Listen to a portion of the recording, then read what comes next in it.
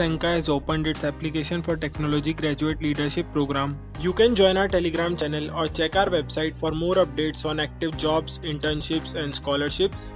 The job location for the role will be Chennai, India, and the program will be starting on September 2021 if you are selected. The salary which you will be getting will also be very competitive. If you are selected for this role, then your responsibilities will include working on international assignment and a rotation in another business areas, working to deliver technology solutions to help the scientists, sales team, HR, and finance areas to do their work at best, or be responsible for data sourcing and visualization, enabling the business to make solid data driven decisions to apply for this role, you need to have knowledge, take responsibility for delivering a project or work that adds real value to the business positively. Join an established and vibrant global IT early talent community. Drive your own development through formal learning or experience with access to the global technology learning platform.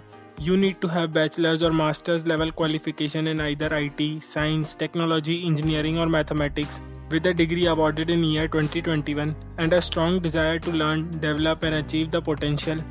The last day to apply is May 30th and you can apply for this role through the link given in the description.